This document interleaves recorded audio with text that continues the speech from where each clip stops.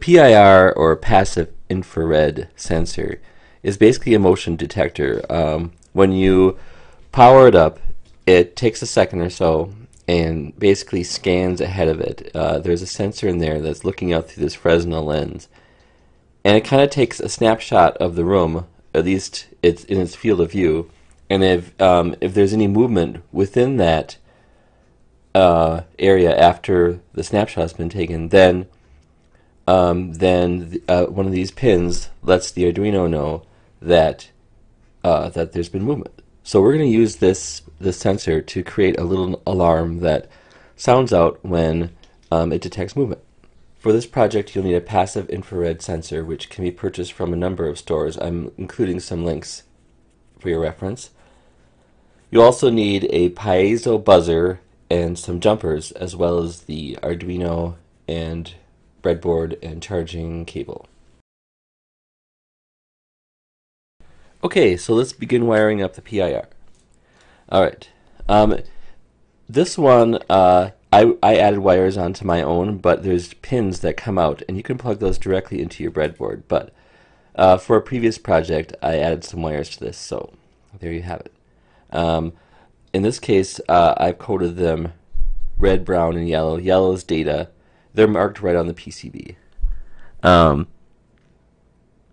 uh, red's for power, and brown's ground. So um, we're going to uh, plug data into pin 2, and then the red wire into 5 volt, and the brown wire into ground.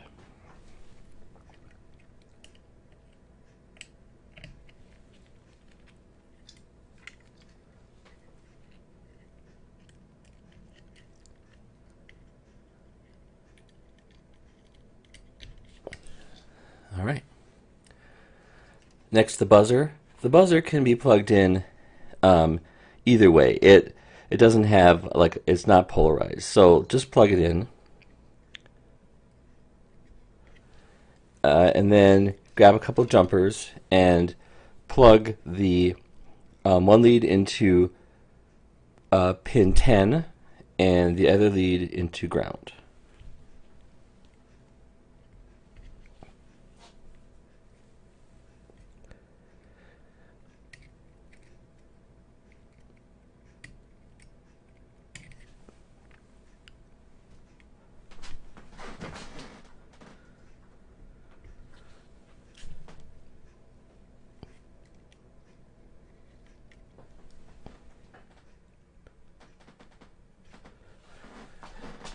And that's it. Now all we have to do is program it. Okay, let's get the code to program the alarm. We're going to this uh, URL here, ladyada.net slash learn slash sensor slash pir.html. Um, that is the site of uh, Lady Ada, who runs Adafruit, which is a really cool electronics store online. Uh, and she has lots of tutorials, including this one of all about the PIR. And if you look at it, there's all sorts of interesting details, which you can read at your leisure. In the meantime, we're going to go all the way to the bottom, and there is some example code. All it does is it uh, it turns on an LED when um, when something triggers the PIR. So that's not precisely what we want, but that's pretty close. So we're going to cut and paste that and go into Arduino and paste the code into the Arduino. So we have that example sketch. But we're going to make some changes to it because we don't have an LED. We have a speaker. So let's change speaker or let's let's turn uh, let's change LED pin to speaker and we're going to use pin 10. Uh, input pin 2 can remain the same. That's where we have our our our, um, our PIR plugged into. This is the default state, low. Uh, that assumes no motion is detected. And this is just a, a placekeeper for keeping track of pin status. Alright, and so we change LED pin here to speaker.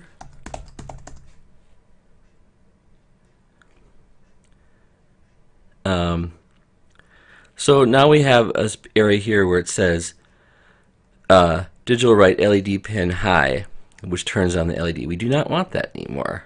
We're going to change it to say tone, and then parentheses, 10, comma, that means pin 10 that's um, one of the values of the tone, the sound that the speaker is going to make. And then this is the other one. So change the, the reference to the LED pin to this one. Um, and then for turning it off when there's no motion detected, we can change this one to say no tone 10. And that should do it. All we have to do now is upload the code and we will be able to uh, detect intrusion. Okay, we've uploaded the code and now it's making this lovely alarm. So just to test it, I press reset, which starts the program off at the very beginning, and there's the alarm.